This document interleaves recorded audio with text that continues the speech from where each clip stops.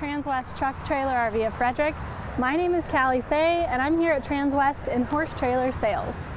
So for those of you that aren't familiar with us, we're about 30 minutes north of Denver, right off I-25, really convenient location. We have a huge selection of new and used inventory, um, as well as a ton of stuff on order. So if you're looking for a trailer, there's a good chance we might have what you're looking for either here or, or coming soon. This trailer that's actually right behind me is another sold unit. As you guys have probably noticed if you've been watching these videos, most of these trailers that are coming in are already sold. And what, why that is, is there's a huge backlog of trailers right now. So a lot of people are taking trailers that we have on order or they're completely starting from scratch and they're customizing these trailers to make it exactly how they want. If they have to wait anyways, might, they might as well get the exact trailer that they've always been dreaming of. So this is an example of one of those behind me. So this trailer is going to go to a really wonderful person. Been working with them for a very long time, trying to find them the right trailer. Some of the ones that were on our lot were close, but not quite. So we finally decided, you know what, let's just build one. So this is kind of her dream trailer, um, exactly how she wants it set up. She even added a few things after the fact, after we've already confirmed the order. So those are some nice little things about doing a custom built trailer is, is you get to choose every little piece that goes into it so that you, when you take it home, you know it's exactly what you want. So let's go ahead and start this tour. This is a Cimarron Norstar six horse gooseneck.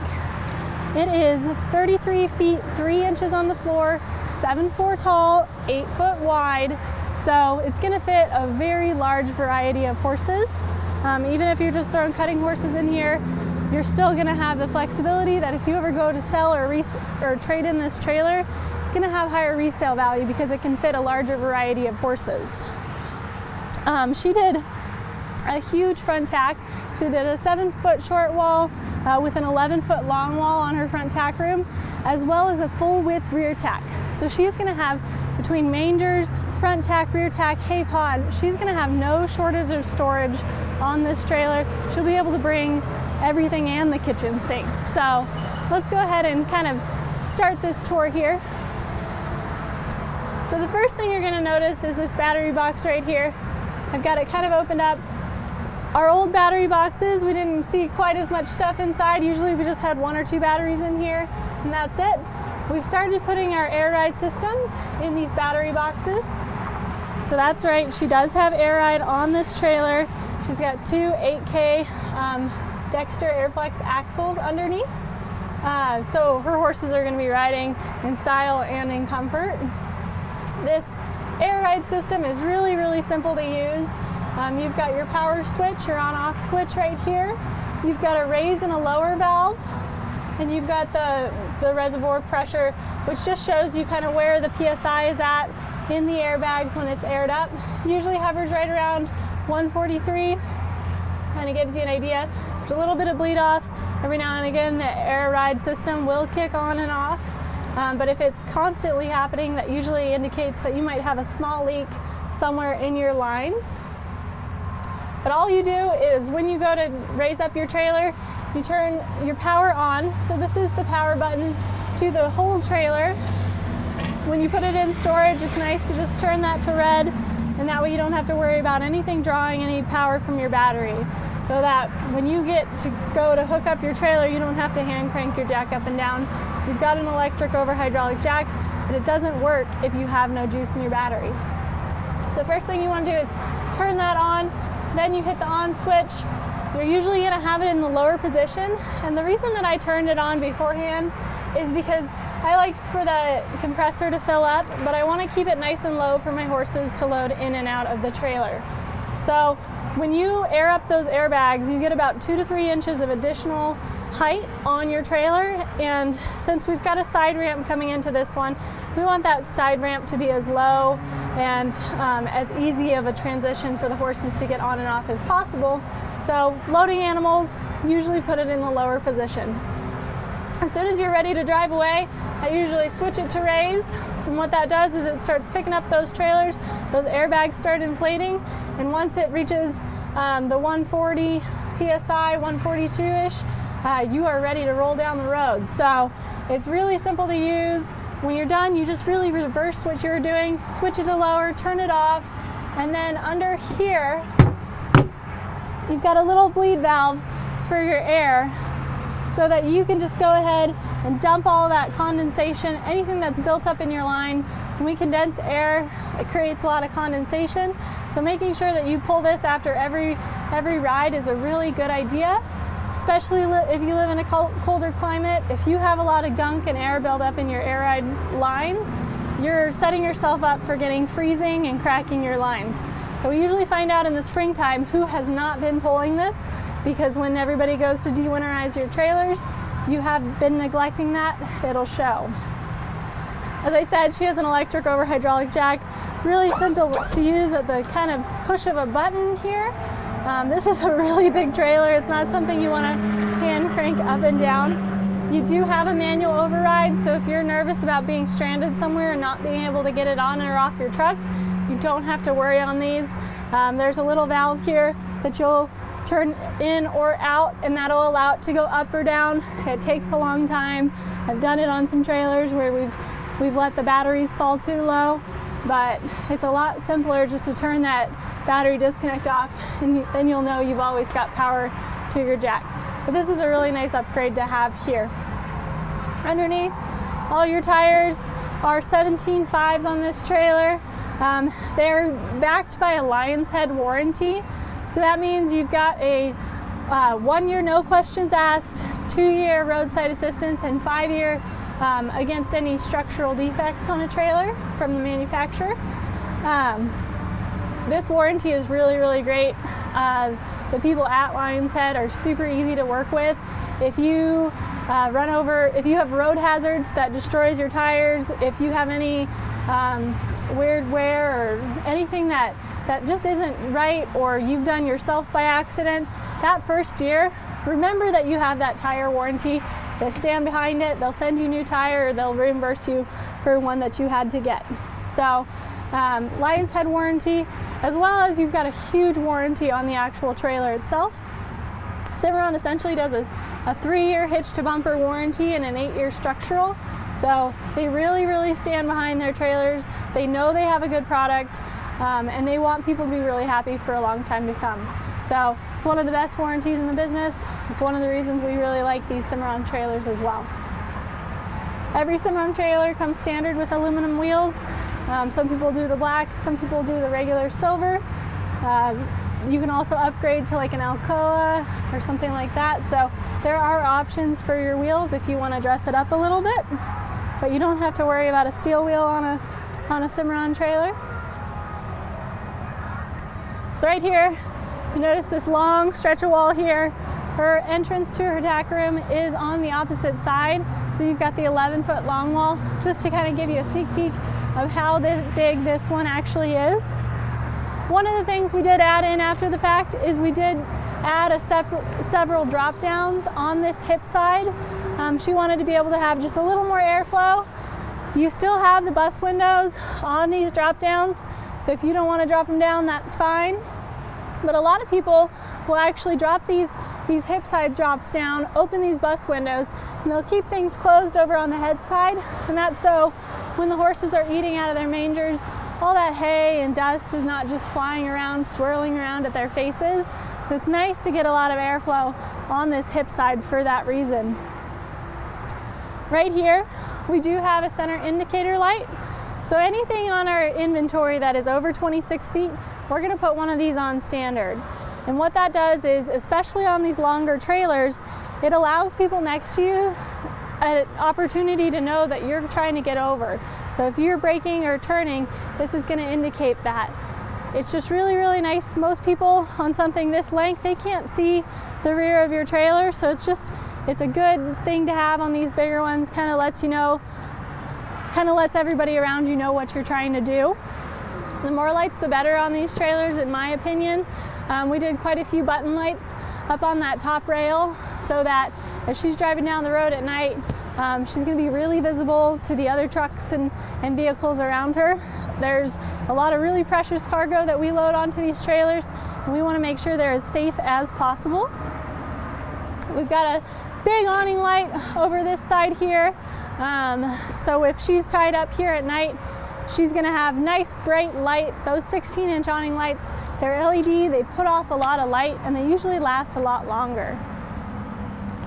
So on this trailer, as I mentioned earlier, full width rear tack, which means a side load. So these ramps, as I mentioned, usually I air down before I load so that you've got a less steep ramp to get in and out. Um, but they're nice and textured, they're rubberized, so you have a lot of grip going up and down, especially if it's a little slick and wet. This door here has its own window so that um, you can also open it for this horse over here. One of the things we had discussed on this trailer was a breakover divider. What that does is it breaks the divider right about here so that you have a little bit wider of an area. She opted to do some other changes on this one instead, but that is an option if you want just a little bit of a wider turn radius to get in and out of this.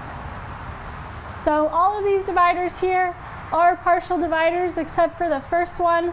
We did a stud divider.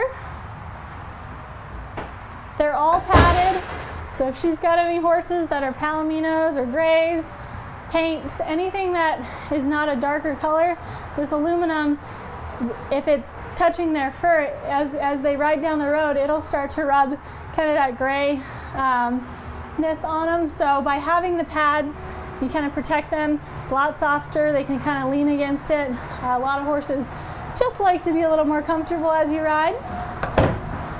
We just washed this trailer out, but it does have WERM flooring in it. So as you'll notice, she doesn't have any rubber mats that she has to pull to get this trailer cleaned out. All she has to do is power wash this trailer.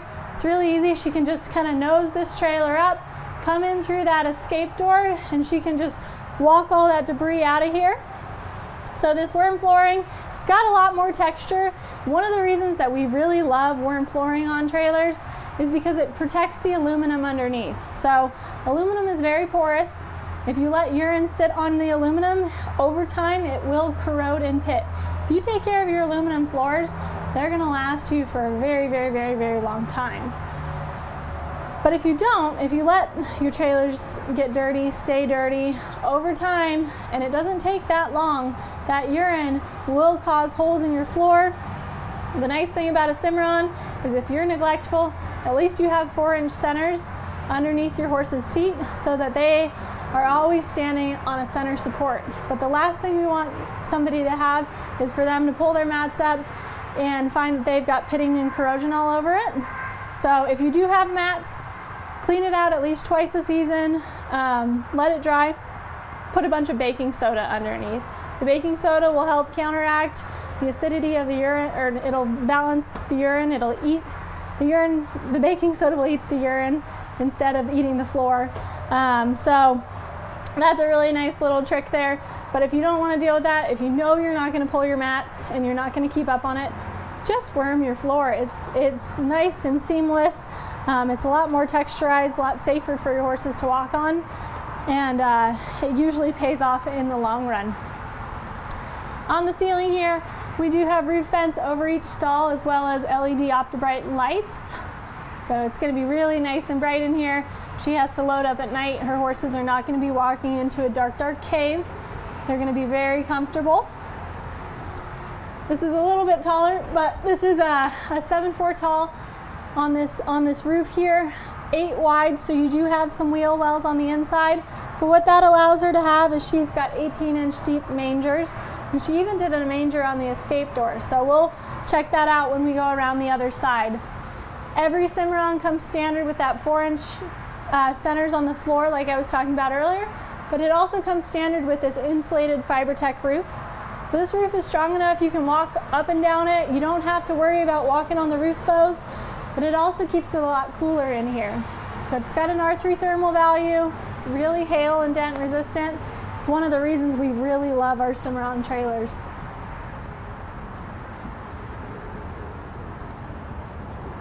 All right, so I know you guys are excited to check out this rear tack, but I wanted to show you one of her other ads that she did.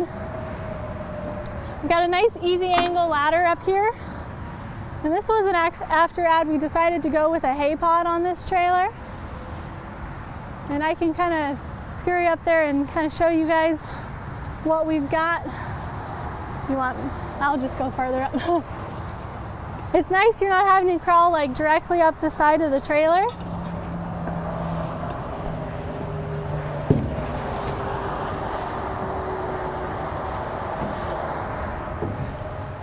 If she's coming up here at night, she has an OptiBrite light up here as well. So she can see her stuff up here. Nice and comfortable. This is an 8 to 10 bale hay pod. So about 8 to 10 bales will fit, fit up here. You don't have to tarp it. It's on these nice big gas shocks. So it lifts up clean out of your way. You're not having to pull it open, throw a bale in. Um, once you get the bales up here, it's really easy to get them down. But uh, this storage is, is really, really great for somebody that, that is going on a long trip, um, bringing lots of horses along. They can bring their own food from home. And then this area right here is an extended deck. What's nice about this is you can throw like a wheelbarrow, something up here, um, or it's just a really nice place to kind of stand without feeling like you're about to fall over the sides of the trailer. So hay pod on this is a great add-on. Um, it's a lot easier to do before the trailer is built because if we have to ship one here, we have to put it on another trailer or on a on a on a flatbed, and uh, it's way easier just to get it done during the build process. So, do you want to go down first?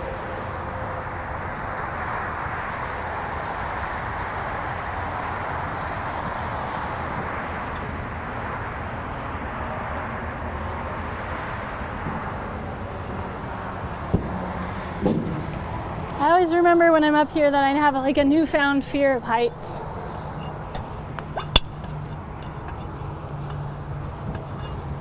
Really easy to get up and down. Um, when you're done with this, this just runs right up here and it sits in these little holders here, secures snugly against the trailer. Really easy to use. Way better than climbing up the side of a trailer.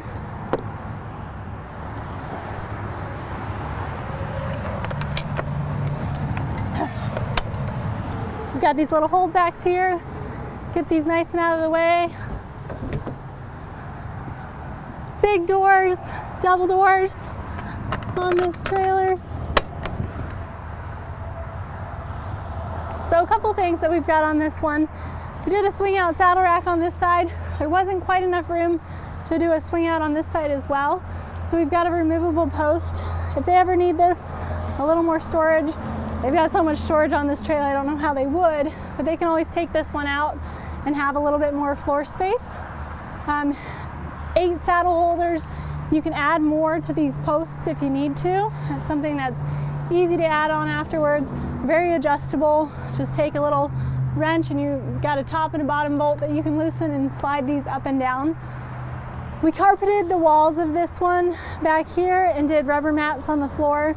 That's kind of what we try and do standard on a lot of these trailers, just because the carpeting keeps these walls looking a lot nicer so that they're gonna be really nice and pretty for a long time to come.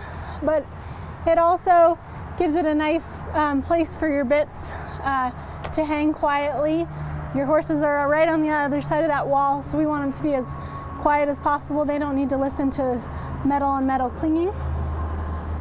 Corner water tank back there, um, so you can bring your own water with you from home. And then something that's kind of interesting on this trailer is we've actually got a outlet there on that wall down low by that saddle. And so this trailer is equipped uh, with the ability to run your outlets in the AC. So we've got outlets on the exterior, quite a few in the front tack, but she wanted to have us add one here in the rear tack as well. Um, this is just a great, it, I mean, if you're gonna throw power to your trailer, you might as well have it at all accessible points. Got two eight inch awning lights up top so that if she's loading in and out, um, she can really see what's going on, as well as a 16 inch that'll backlight this actual area here. So it'll be really easy to kind of see everything. Right here, got a nice big six tier blanket bar on a gas shock. Really easy to load and unload. A brush box here, as well as a brush box over on that other wall. So I know people just love these full width rear tacks.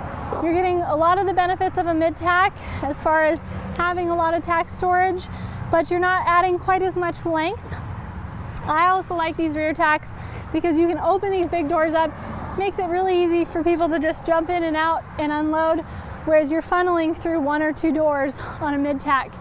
It's just a lot more usable space in my opinion. On this side over here, drop downs on all the heads, of course.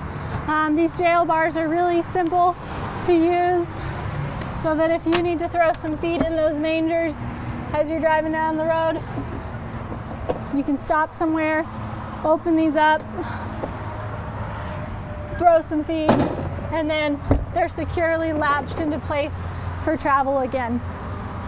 These drop downs have over six inches of framing on them, so they're very, very strong. They're not like those dinky little piano hinges that you see in a lot of trailers. Um, everything is a grease zerk. so if you want, you just grab yourself a little grease gun and you can maintain all these hinges. Anytime you see a little bit of a squeak or hear a little bit of a squeak, usually means it's time for some grease. So we can maintain those hinges and we don't have to worry about anything binding up for a very long time. A lot of what Cimarron does is they make it so that their trailers are very easy to maintain. The cost of ownership usually is less on a Cimarron because they set it up right the first time. It's not like you're gonna have to be replacing a lot of parts. You still need to do your, your annual maintenance, like your brakes, your bearings, have all that stuff checked.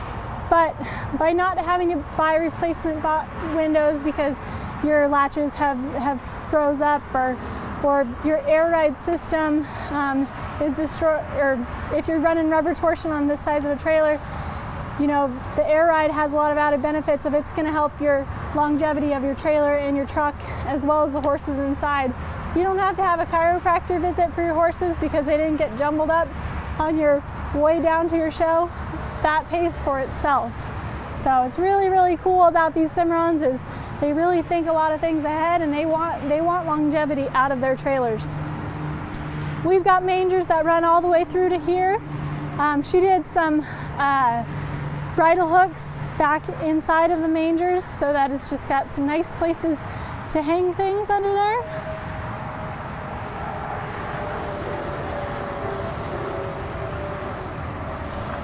And then on this door, this door has a manger too. So you get the storage underneath. But the really important part is you don't have to have a feed bag or a, one of those triangle bags. Um, your horse has a nice, comfortable place to eat out of as well.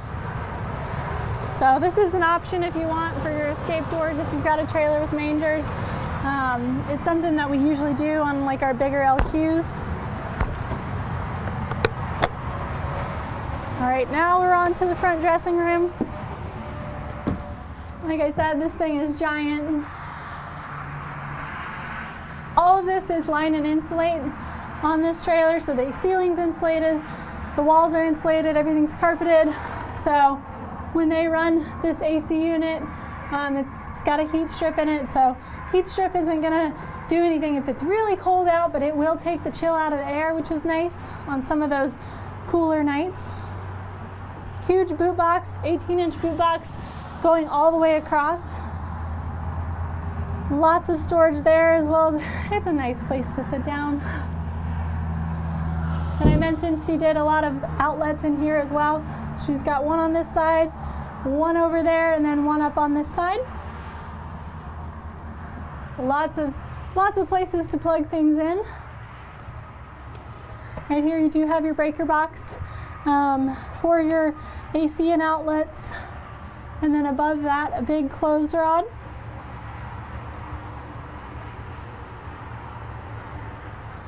And then just since we've got all that wall space over on this side here, we've got this big shelf with clothes rod underneath, as well as a few bridle hooks here. They can always go in and add more bridle hooks if they find they need more hanging space. But it's just nice if you need to hold, hang up a jacket or, or anything like that, you've got a little bit of room there.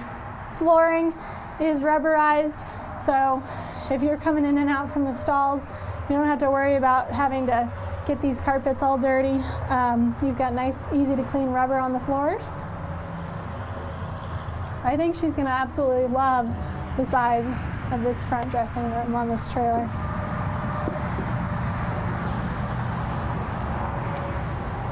Right over here, she did want some exterior outlets up by the nose as well. So she's got two right here. Um, she's really got most of her bases covered on this trailer as far as power goes. All right, so I know you guys are in love with this trailer. I hate to break it to you, but it's going to its new home soon. But I can build you one just like this or very similar with some of your own spins and your own takes on it. Um, we love building custom trailers. It's one of our favorite things to do here. We find that customers have the most creative ideas and they usually give us a lot of good ideas for what we should be carrying in our inventory as well. So if you have been looking for a trailer and you can't find something that's exactly what you want, we can build it. And I would be more than happy to go through the process and spec something out with you. My name is Cally Saye.